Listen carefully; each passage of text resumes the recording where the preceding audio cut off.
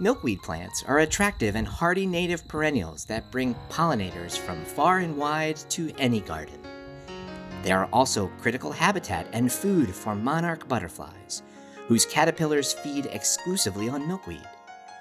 But milkweed can also be a hassle for gardeners. Weed is right there in the name. All milkweed species can spread readily by dispersing seeds and through underground rhizomes.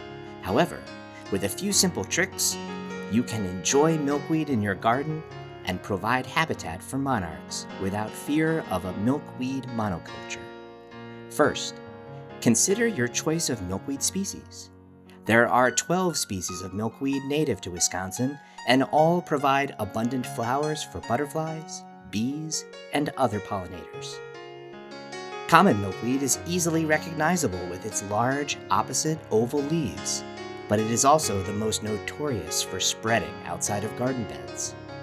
Other species like swamp milkweed, whorled milkweed, or butterfly weed are often more manageable in formal perennial beds.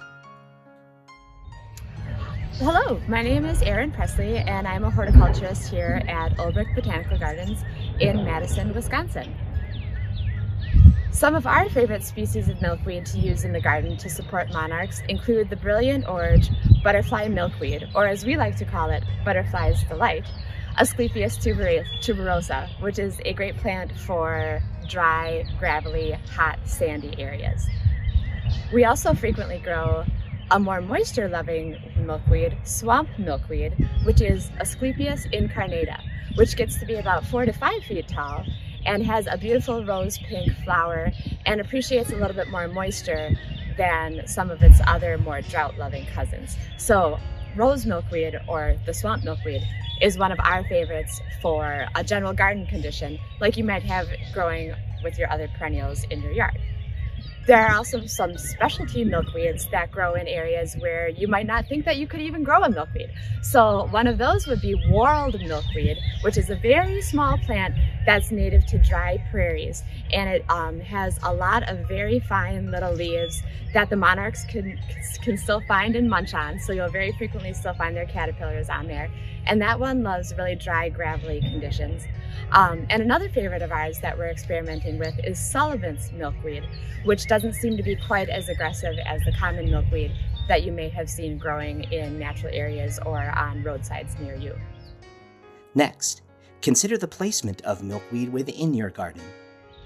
There are a few techniques if you have milkweed that is existing in your yard already or are considering, considering planting the common milkweed, Asclepias syriaca. There's a few ways that you can still control its spread. Um, it does have a running root system that can tend to be a little aggressive in a garden situation.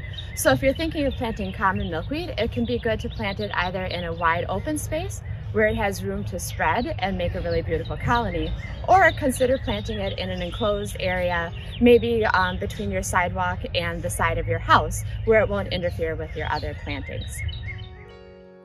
Most milkweed prefers full sunlight, but you can reduce the spread of rhizomes by planting milkweed in a corner or up against a barrier near the edge of your garden. Planting milkweed in an area that is sheltered from the wind can help reduce the spread of their downy seeds in the fall, with the added bonus of providing a respite for monarchs and other pollinators. To keep milkweed seeds from spreading over your yard, remove seed pods before they open in the fall. Or better yet, tie a string or a rubber band around the immature seed pods to keep them from opening. But leave the seeds to mature on the plant. Then, either in the fall or the following spring, collect the seed pods and give them to a friend or community natural area that wants to plant milkweed. In the spring, if you notice little milkweed plants popping up where they are not welcome, you can easily pull them by hand. Milkweeds grow a deep tap root, making them easy to pull when they are young, but more difficult to completely remove once they are mature. When possible, Pull unwanted milkweed plants late in the spring before monarchs arrive to avoid inadvertently removing monarch eggs or caterpillars. With a little pre planting and care, you can provide critical monarch habitat without compromising your garden. As a robust and low maintenance native plant, Milkweed species are an excellent addition to any perennial bed, rain garden, or pollinator patch.